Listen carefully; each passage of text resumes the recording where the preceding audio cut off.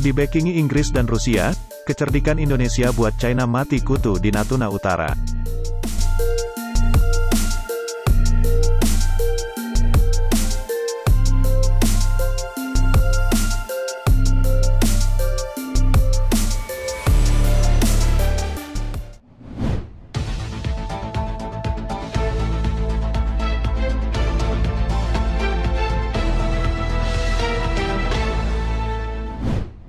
Dikutip dari indianaratif.com, Indonesia rupanya menggandeng perusahaan pengeboran minyak Zarubezhnev Rusia dan konsorsium Harbor Energy Inggris. Ambisi China untuk menguasai Natuna Utara dari Indonesia sungguh tak dapat dibenarkan. Jatuhnya China melakukan agresi kepada Indonesia di Natuna Utara jika hal itu terjadi, apalagi Indonesia selama ini tak pernah mengganggu urusan dalam negeri China, justru Beijing lah yang memantik api konflik di Natuna Utara.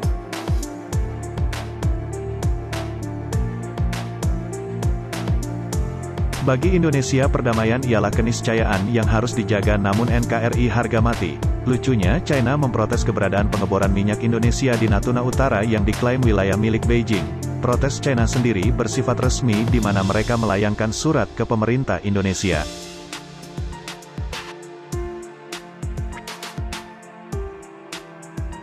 Anggota Parlemen Indonesia di Komite Keamanan Nasional, Muhammad Farhan, mengaku tahu isi surat dari pemerintah China tersebut. Ia menegaskan Indonesia akan tetap pada posisinya mempertahankan Natuna Utara, sedikit mengancam karena itu adalah upaya pertama diplomat China untuk mendorong agenda sembilan garis putus-putus mereka terhadap hak-hak kami di bawah hukum laut.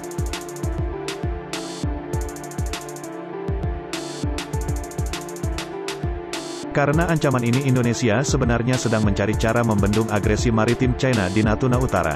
Untungnya Amerika Serikat, AS, menyatakan siap membantu Indonesia mempertahankan Natuna. Melalui situs resmi state.gov, pemerintah AS menyatakan sikap bahwa mereka akan melakukan segala daya upaya untuk ikut terjun membendung pengaruh China.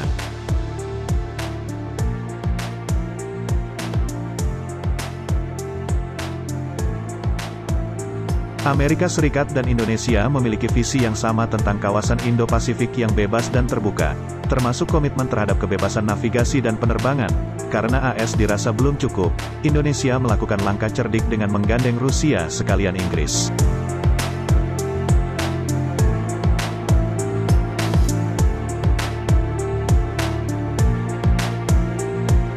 Indonesia adalah pemimpin di ASEAN dan jangkar tatanan berbasis aturan di Indo-Pasifik. Amerika Serikat tetap terlibat secara mendalam di Indo-Pasifik, dan kami serta mitra kami percaya bahwa cara terbaik untuk mencegah konflik adalah dengan memperkuat nilai-nilai bersama kami. Keduanya bekerja sama dengan pemerintah Indonesia untuk melakukan eksploitasi minyak bumi lepas pantai di Natuna Utara.